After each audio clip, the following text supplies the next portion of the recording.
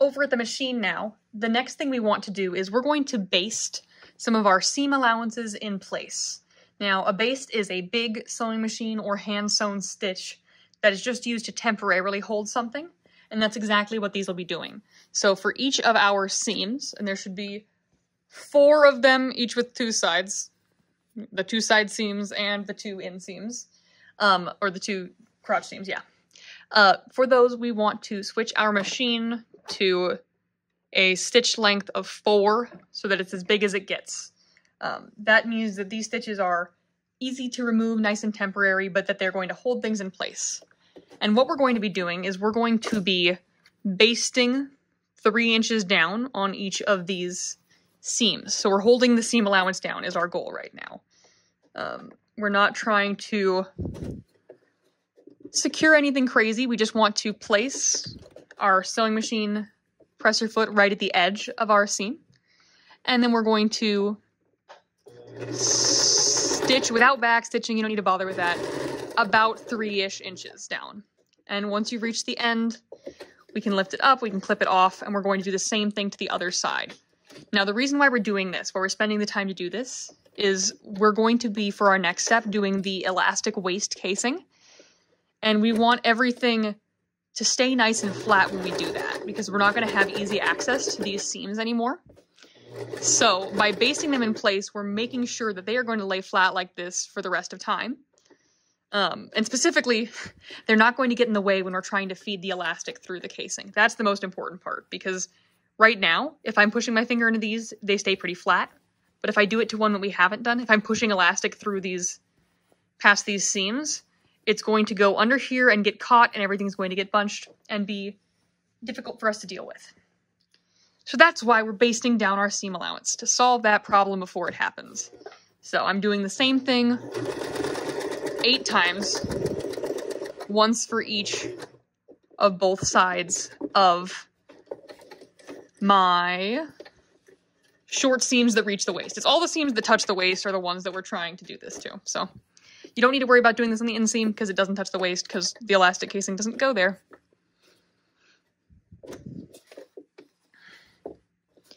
And you can feel free to pause this video. I'm just going to baste the rest of these down in place on both sides. For our next step, we need to figure out exactly what our waist measurement is. So what I'm going to show you now is how to take a waist measurement on yourself. You also can have a friend help you out with this part in the class. Um, but you'll need a tape measure and then, of course, your lovely self or whoever you're making the shorts for. Um, so you'll want to take your tape measure and then you want to wrap it around your body at the point where you are the smallest. This is the opposite of where we were taking our hip measurement. This is the point where you're the smallest. It also can be helpful if you bend back and forth and kind of feel where are you tilting. For me, that's right here. Um, that is your waist. That is your true waist measurement. That's where you want to take a measurement for these shorts. So for me, my waist measurement is 31 inches. So that is how much I need to remember. I need to write that down somewhere so that we can use that during our next step when we're cutting our elastic. Now that I know my waist measurement, it's time for me to cut some elastic for myself. So I need my tape measure, some scissors, and my roll of elastic that we'll have in the classroom. This is one inch wide non-roll elastic, um, so it is rigid this way so it doesn't, it's not going to get super twisty and have troubles. Now, if you remember, the last little clip said that my waist measurement is 31 inches. So what I want to do is I want to take that number, add one inch, and then cut that much elastic. So I actually am going to cut 32 inches of elastic this time. So I'm going to take a tape measure and I'm going to line it up. I'm going to take a tape measure and line it up with my elastic and without stretching it, I'm going to unwind 31 inches of it. And the reason why we're adding one inch to whatever your waist measurement that you're using is, um, is so that we've got some overlap to sew. Because if I cut exactly 31 inches of elastic, it's going to be uncomfortably tight on me because I'm going to have to use some of that as seam allowance, which would be not fun. Okay, so now that I found where 32 is, I'm going to grab my marking pen, going to make a little mark there at 32 inches, and then I'm going to snip it. So now I've got my piece of elastic and I'm ready to move on to the next. Everything is basted in place. I've got my elastic cut. So what we need to do next is create a casing channel or casing or channel for our elastic to go through because right now there's a lot of extra room up here. These are a very high-waisted pair of shorts um, and that is not how they're actually supposed to be. Uh, we've got extra room here because we're going to be doing some folding over to create a tube for our elastic to go through. So to start out with, I'm going to just get one layer of my fabric laying down, and I want to press it over one quarter inch. So what we're doing is we're going to iron it once like this, and then we'll iron it again so that the whole casing is sitting with a nice finished edge. Um, this is the reason why we didn't need to serge this part, is because we're going to finish the edge this way. And I think actually I'd like to... Hmm, Again, it's this iron and angles. I think this is how I'm going to do it. So it'll be a little... My hands will be coming from a, a strange angle in the camera, but I think this is the best way to keep myself from blocking the view that you need. So I'm checking and making sure that a quarter inch is what I think it is. I'm lining it up there, and then I'm going to press this. And I want to do that all the way around the waist. And so I'll move it as I go, I'm going to check in on a quarter inch every once in a while, make sure that I'm staying consistent so that my casing isn't growing or changing or experiencing new things it doesn't like.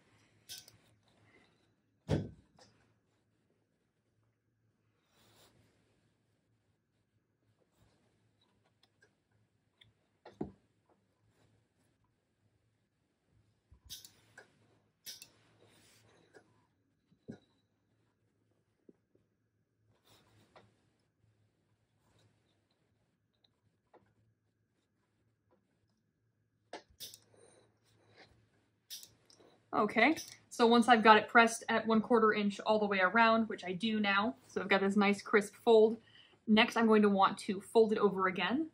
This time I'm going to fold it over an inch and a quarter.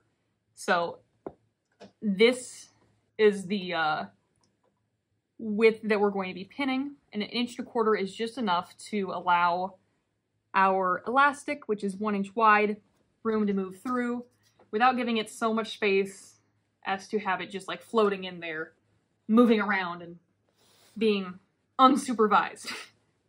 um, so we want to check and measure that. And I'm actually just going to go through and check at each of my seams and pin and press those areas first and then go back through because I'm finding it easier to get those areas matched up first. So now that I've got these two, I'm going to press this middle area and I'm going to put some pins through there.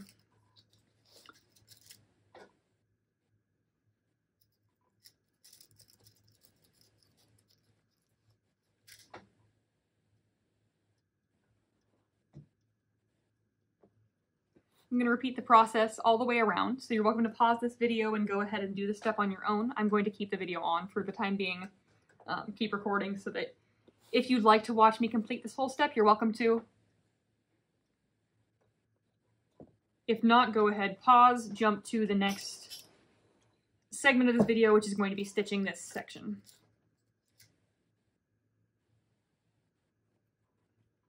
But yeah, those of you that stick around and watch the, the middle parts of the videos, you're the you're either like really starved for entertainment or you like, you know, knowing exactly how to do the process, which I respect. But if you're here watching it for entertainment, that is a much funnier story to me um, because I I love chatting with my with my strange people who stick around for just Abbie monologue parts of the video. You're where it's at. I don't I don't know who you are. I don't know where you are, but I'm sure someone somewhere has chosen to keep watching me iron this this portion either because you're feeling uncertain or because you don't like trying to skip ahead in videos. That's usually me. I'm like, I'm just gonna, I'm gonna miss what I needed to find. If I skip it, might as well just sit here and listen to this girl talk. Here we go. We're almost to the end.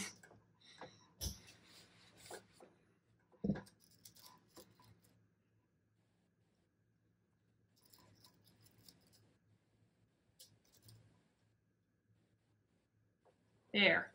So now my shorts are pinned all the way around and we're ready to head over to the sewing machine.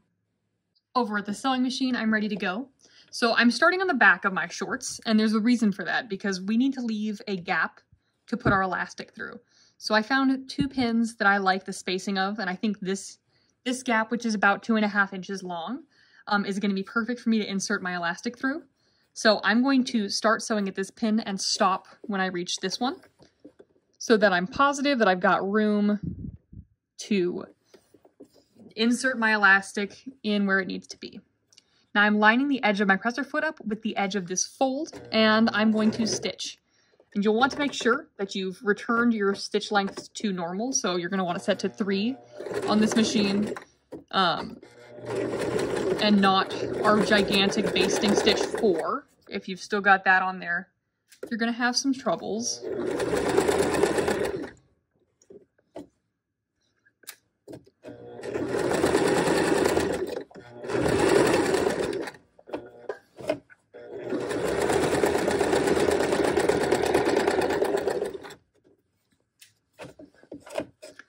Just sewing around. I'm making sure that the bottom layer of the shorts is way out of the way so that we don't have any sort of strange occurrence where we accidentally sew through multiple layers of the shorts, which would be no fun. And I'm actually going to remove the tray portion because it's getting in my way.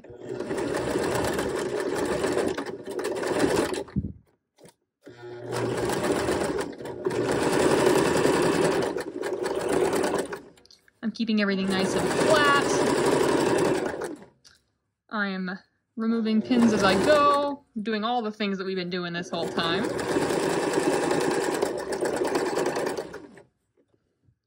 And I'm soon, nope, I still got more. It was a false alarm. I thought this pin was the pin I was going to stop at, but it was not.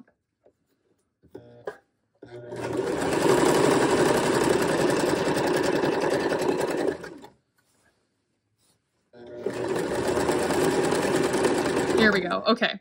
So I'm going to cross this last seam. And then this was the pin that I said I was going to stop at. So once I reach that pin, I'm going to backstitch. And then I'm going to release my shorts from the sewing machine. So for our next step, we're going to head back over to the cutting table and we're going to get the elastic inside.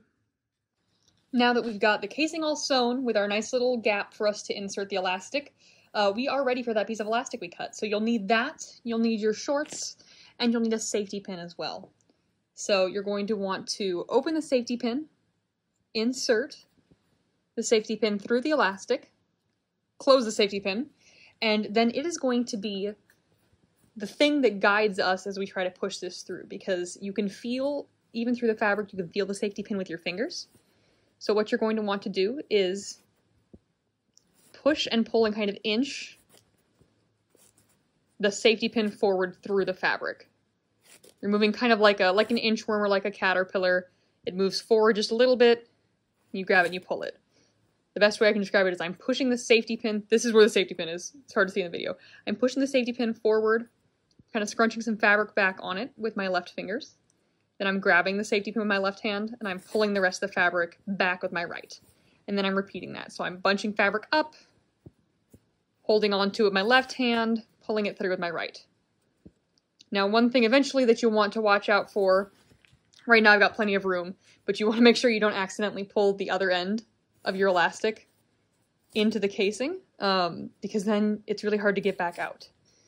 And so we don't we don't want that the safety pin is there specifically because it's kind of hard to feel and move the elastic on its own. It's not bulky enough, which is great, and it's what we want for a pair of shorts, but it's just kind of hard to manipulate. So this is the typical way to do things.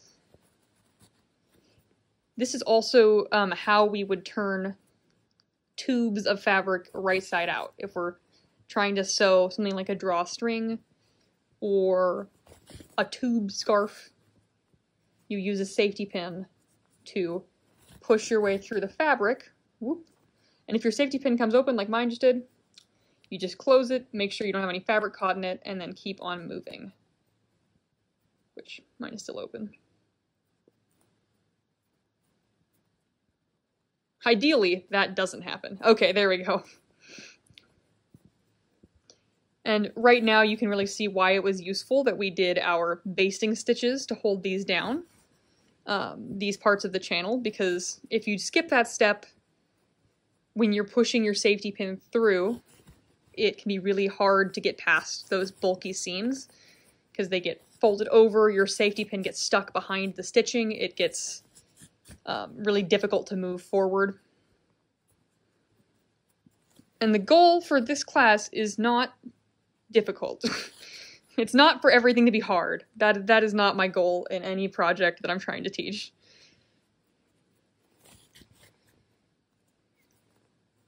Challenging, but not unnecessarily hard. Plus, these are just good sewing techniques, knowing how to baste things down, knowing when to baste things down. And if you're having some trouble like I am now, because you can see this that's really getting bunchy over here, I'm just going to scooch some of the extra fabric that's really bunched up on certain parts of the elastic. I'm going to scooch it over to allow myself more room to work because it was getting a little clumpy there, getting a little tricky to use. But I'm getting close to the edge.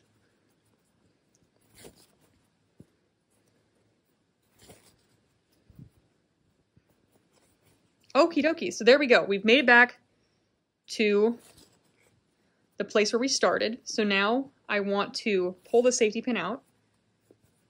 It's returned from its harrowing journey. Um, and I also want to pull the elastic out with it a little bit. And now I'm going to take the two ends of my elastic, I'm going to remove the safety pin from here. I'm going to overlap them.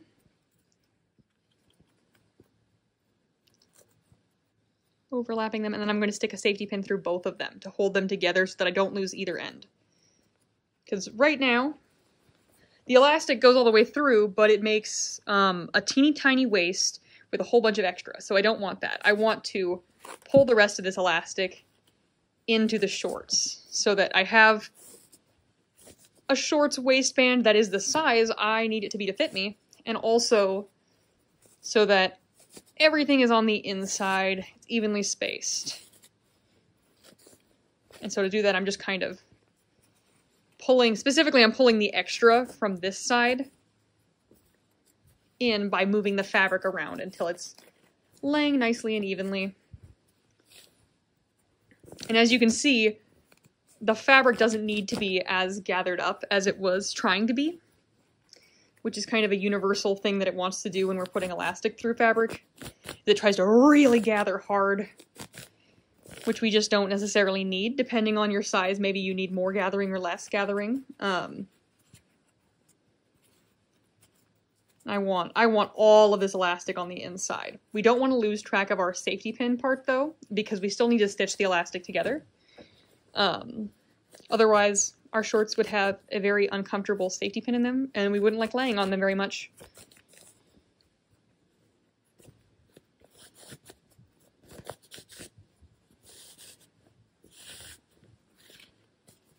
I've almost got it.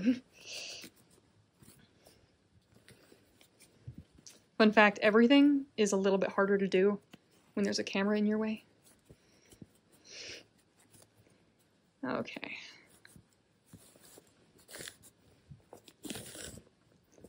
And if you've gotten yours done, you can go ahead and skip away to the next chapter of this video where I'm going to be showing you what we're doing with our elastic next. I think I'm actually, I'm going to finagle some more with this, but I will come back to you once it's all evenly distributed. Now that I've got my elastic distributed in my shorts, I'm ready to stitch them. So I'm going to remove the safety pin from the two ends of the elastic, and I'm going to replace it with a straight pin. And I want to make sure that what I'm overlapping is the equivalent of that inch that I started out with by adding. Um, so this, is where we use that inch. I'm going to put a pin through this.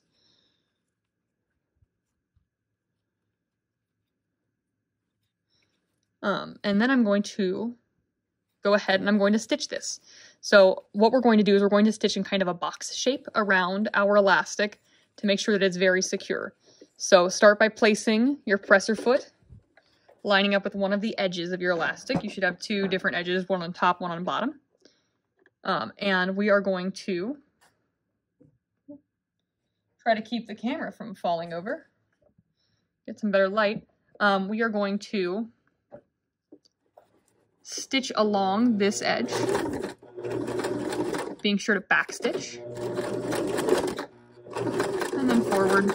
And once you reach the edge of your elastic, put your needle down. Whoa, so sorry for the earthquakes of me slapping the camera on accident. Um, put your presser foot down or your needle down, lift your presser foot up, and rotate your elastic until it's at a 90 degree angle from where it used to be. And then we're going to stitch along the edge. And everything is trying to be in the way, trying to be in its in its business. I'm going to stitch a little further until I am now lined up with my second edge. Then I'm going to do the same thing. I'm going to lift, whoop, lift, pivot, get everything laying straight, then put it back down. Because the key is we're sewing in a square. We're trying to get both ends of our elastic nice and secure.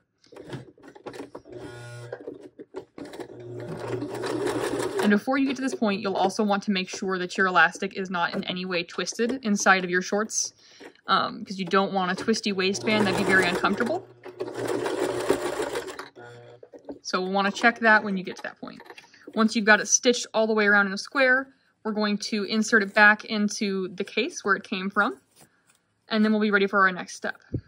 Now that we've got our elastic secured to itself, our next step is going to be closing up this hole. Um, because while we needed it to get our elastic in there, we don't want it anymore.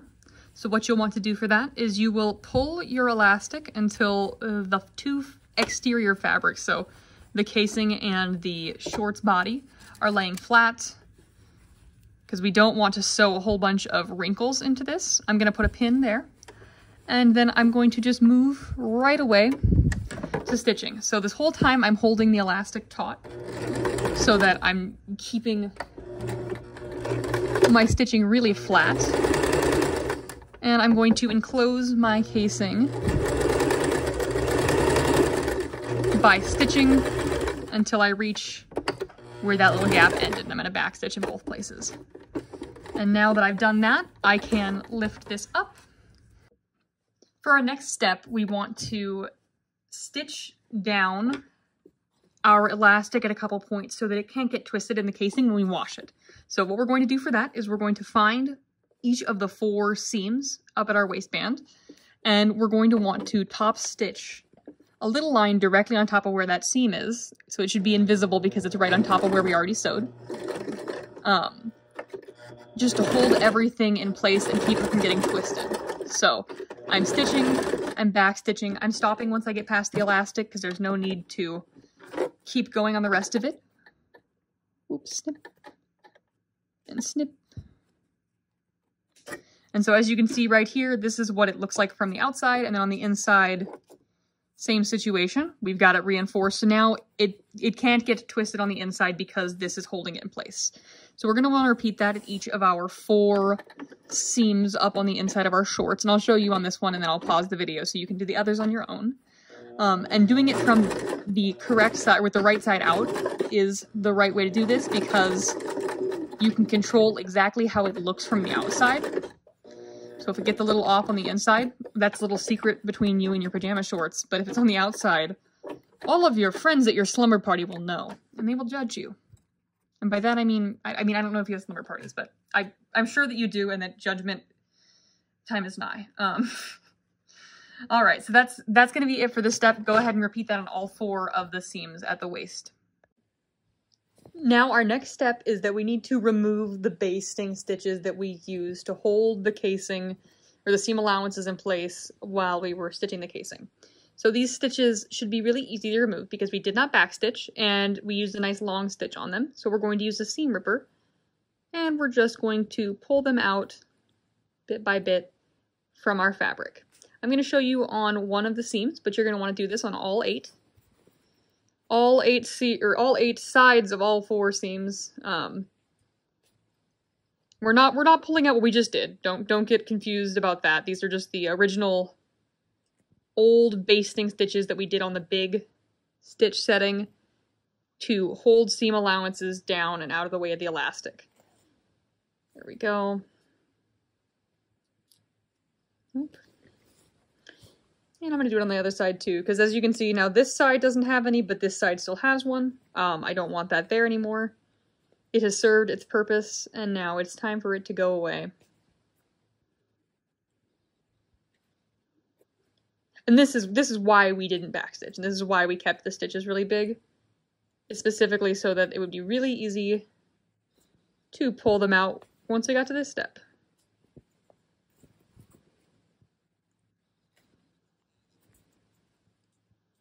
Here we go. So I've got them both removed from this seam. You're going to want to repeat that on all your other seams until you've got no none of the bastings left. And then you're ready to move on to the next step.